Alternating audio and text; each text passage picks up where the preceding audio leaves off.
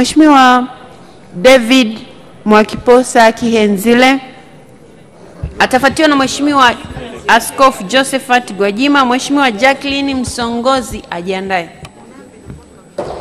Mheshimiwa Naibu Spika, ni kushukuru kwa kunipa nafasi ya kuchangia katika wizara hii.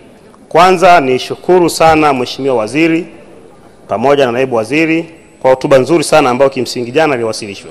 Sehemu kubwa sana ya baadhi ya hoja ambazo nilitaka kuzizungumza nadhani zimekuwa covered. Kwa hiyo ninawashukuru sana, lakini naomba nizungumzie maeneo machache. La kwanza, Mheshimiwa Naibu Spika, jana hapa amezungumza waziri wetu wa TAMISEMI na ameonyesha jinsi ambavyo atakwenda kuweka msukumo mkubwa kwenye watumishi waliopo kwenye kada ya TAMISEMI, lakini nitaka niongezee na nisitize eneo moja niwaombe waheshimiwa mawaziri kwenda kutazama vyema mazingira ya ufanyaji kazi ya watumishi ambao wako kimsingi kwenye utumishi na TAMISEMI. Kwa mfano, kupitia ule waraka wa elimu bure, sote tulishuhudia jinsi ambavyo tulitoa posho ya madaraka kwa wakuu wa shule pamoja na waratibu elimu kata. Lakini sasa hoja yangu ni nini? Niwaombe mkatazame vizuri sana kuhusu watendaji wa kata kwenye nchi hii. Watendaji wa kata, maafisa tarafa, hata kwenye vijiji, wao ndio viongozi kwenye maeneo yao. Watendaji wa kata ndio wakurugenzi kwenye maeneo yao. Tumefanya kazi nzuri ya kuwawekea mazingira mazuri ya kazi wenzetu wa elimu na tunao mpango maafisa wengine wa ugani, lakini bosi ambaye ni mtendaji wa kata ana hali gani?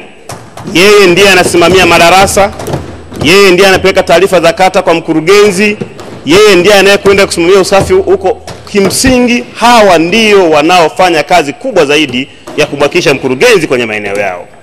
Kwa hiyo hilo ningeomba pia liende sambamba na upande wa maafisa tarafa. Kada hii huko nyuma, kama alivyozungumza mchangiaji mmoja juzi, ni kada ambayo kimsingi miongoni mwao ndio tunateua madasi, tumeteua madedi na madc, lakini changamoto iko kubwa kuanzia kwenye usafiri, ofisi mpaka incentives zao. Zamani maafisa tarafa walikuwa wanapata mishahara ya kiuongozi, baadaye ikaondolewa. Ninashauri ninashauri sana, ikiwezekana tutazame package maalum, maana hawa ndio wawakilishi wa mkuu wa wilaya kwenye maeneo yao. Vivyo hivyo kwa madasi katika zile ofisi zao, utakuta dasi ni kiongozi mkubwa baada ya DC. Akitoka dasi wasema nakuja dedi, lakini kwe mjibu wa pakeji yake unaambiwa anastahili kupewa gari aina ya saluni. Ni vyema tukahuisha mambo kama haya yaendane sambamba na wakati uliopo, Mheshimiwa Naibu Spika.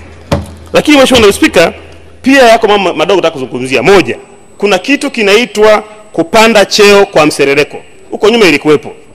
Hii ni changamoto kubwa watumishi wetu wanayo sasa hivi. Utakuta mtumishi alikuwa na haki ya kupanda cheo mwaka 2012 hakupanda, alikuwa na haki ya kupanda cheo 2016 hakupanda, pengine 19 hakupanda. Sasa atakiwa pande cheo leo, na pengine kutokupanda kwake cheo kipindi cha nyuma si makosa yake, ni makosa ya mwajiri wake. Tunampanishi yule mtumishi. Tumeweka mfumo mzuri kwamba kimsingi yule mtumi, afisa utumishi au mwajiri ambaye hakufanya vile atachukuliwa hatua. Je, stahiki la mtu huyu? Kwa ni waombe wenzetu wa wizara sasa wakalitazame jambo hili, ni watumishi wangapi walistahili kupanda cheo lini kwa haki, na kisha waweze kupatiwa stahiki zao. Lakini Mheshimiwa Naibu Spika, eneo lingine ni recategorization. Hii ni kubadilishwa kada. Hapa kuna changamoto na kilio kikubwa sana kwa watumishi wetu. Utakuta mtumishi amesoma, ni mwalimu, diploma, akaanza kupanda cheo TGC, T, labda TGSC, akapanda D, akapanda mpaka E. Baadaye amefika mshahara wa milioni moja laki mbili. Sasa ameenda kusoma digrii nyingine ya utawala au yoyote ile. Wakati wa kumbadilisha cheo kutoka kwenye yale aliyosomea mambo ya ualimu kwenda huku kwenye utawala ambao kimsingi mwajiri ameridhia kuna nafasi, tunaanza kumpeleka akaanze kupata mshahara kwenye utawala pale inapoanzia entry point. Yaani kwa mfano kama HR anatakiwa kuanza kulipwa labda HR 2 shilingi laki saba, huyu mtumishi alifikia level ya ualimu ya kulipwa 1.2 anarudishwa kwenye HR 2. Ushauri wangu ni nini, Mheshimiwa Naibu Spika? Tunaweza either ku maintain ile personal salary au tukaikweti mshahara wa kule anakotoka vis-a-vis huko anakokwenda, ili tusiwavunje moyo hawa watumishi wetu, Mheshimiwa Naibu Spika. Lakini Mheshimiwa Naibu Spika, eneo lingine nilikuwa nataka kuzungumzia pia kwa, kwa kidogo ni ishu ya madai mbalimbali mbali. Kwa mfano nilikuwa naomba Mheshimiwa Waziri aende akatazame madai ya wakufunzi wa vyuo na udhibiti ubora. Yako malalamiko ya watu ambao hawakupewa stahiki zao kwa zaidi pengine kuanzia mwaka 2008 kurudi nyuma. Changamoto ni nini? Wanastahili kitu gani? Kama wanastahili wapewe, Mheshimiwa Naibu Spika. Mwisho, Mheshimiwa Naibu Spika, ningependa kuzungumzia kidogo kuhusiana na makundi maalum kwenye utumishi ambao kimsingi wizara naomba ikasaidie kusimamia.